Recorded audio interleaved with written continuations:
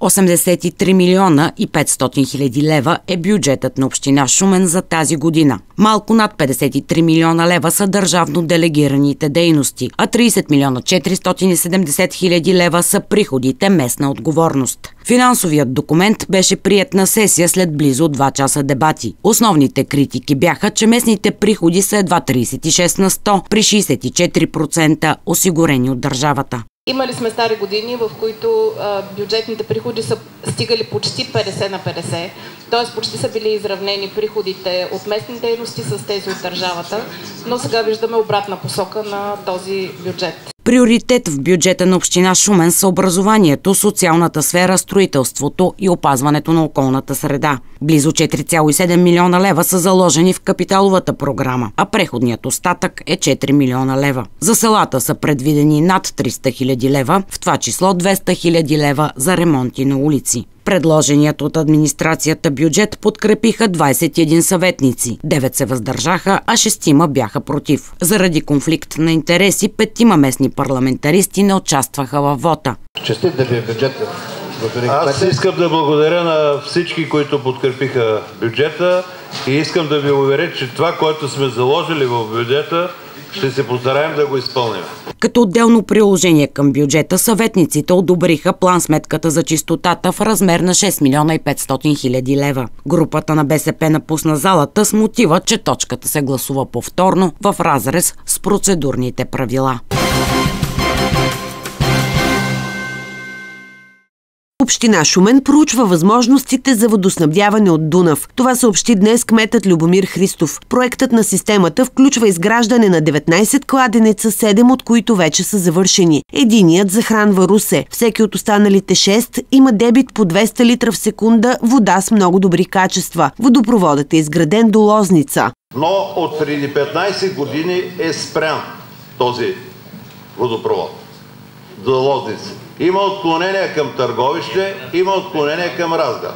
Организираме среща с кмета на Търговище, кмета на Разград, кмета на Попово, и да искаме да бъде обследвана тази мрежа. В момента единствената альтернатива за водоснабдяване са сондажите в Мътница и Макак. Възстановяването им ще струва около 10 милиона лева и няма яснота каква част от града могат да захранват. При всички положения обаче намирането на вариант за альтернативни източници ще отнеме немалко време и средства. Все пак бяха взети няколко решения. Стъпките, които трябва да се предприемат според мен са следните. Първо да се, искат, да се искат пари от държавата. Затова съветниците гласуваха 20 000 лева за обследване и идеен проект за двата водоисточника, ако има желаящ да ги изготви. С по-малко 150-200 хиляди никой идеен проект няма да не направи, дори няма да участва в процедура. Така че тия 20 хиляди лева лично аз просто не виждам за какво ще бъдат. Втората стъпка, ако държавата не отпусне пари, ще е да се търсят вътрешни резерви от общинския бюджет и едва като последен вариант остава да се тегли заем. С 22 гласа за и 10 въздържал се беше решено след изготвяне на експертизата да се предприемат действия към реализация на проекта за възстановяване на кладенците. Решение беше взето и по отношение на другата альтернатива. В момента под председателството на вице-премьера Дончев има антикризисен штаб, за решаване проблемите на водите в България. Да направи предложение към програмата антикризисната на правителството за решението на водата изграждането на водоснабдяването от Дунавските сондажни води към Шумен. Предложението на Костов събра подкрепата на всички 39 съветници. Явор Якимов от ВМРО положи клетва като общински съветник в Шумен. Той влиза на мястото на Деян Станчев, който стана народен представител след избирането на Емил Димитров за министър на околната среда и водите. Всичките си действия да се ръководят интересите на гражданите от Шуменска стена.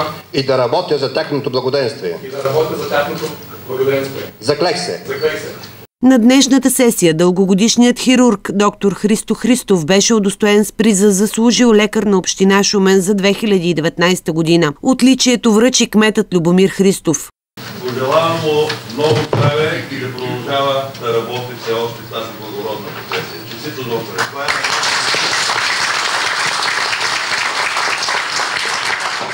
Благодаря много за вниманието, за наградата на всички съветници.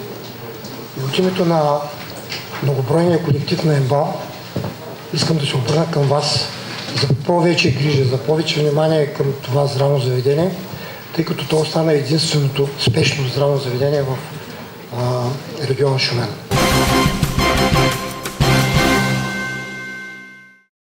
Шестима души са задържани през специализирана акция срещу организирана престъпна група за телефонни измами. Тя е действала на територията на областите Шумен и Разград. Извършват се претърсвания, иземвания и лични обиски на предполагаемите участници в групата, както и разпити на свидетели пред съдя. Главният прокурор Иван Гешев заяви, че се спазва обещанието, което е дал на българските граждани и на пенсионерите, че ще направи всичко възможно, за да бъде решен проблема с телефонните измами. По думите му, ако една държава не може да реши този проблем, означава, че не може да се справи с нищо. Работата по случая продължава.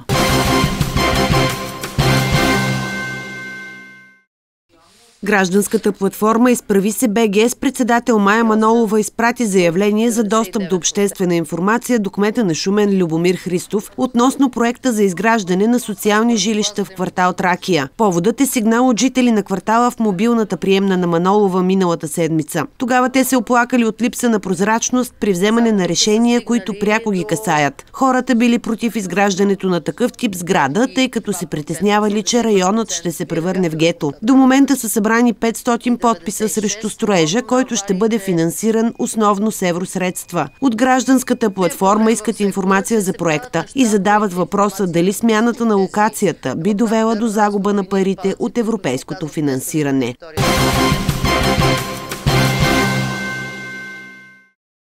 Информация за състоянието на пътната настилка, сигнализация, маркировка, банкети и ограничителни системи по общините беше изнесена на заседание на областната комисия по пътна безопасност. Също така бяха обсъдени сигнализацията на кръстовища и пешеходни пътеки. От областната дирекция на МВР в Шумен са изтъкнали факта, че пешеходните пътеки не са добре осветени, на места са по-гъсто положени от необходимото и са посочили наличието на прекалено много паркоместа по основните улици. Според тях това са предпоставки за пътни происшествия. Оттам допълниха, че ще засилят засилят контрола за полагане на пътната маркировка, защото в много от случаите те не отговарят на реалната пътна обстановка. На заседанието на областната комисия по безопасност на движението по пътищата беше прият годишния доклад за изпълнение на областната политика по безопасност на движението по пътищата за 2019 година.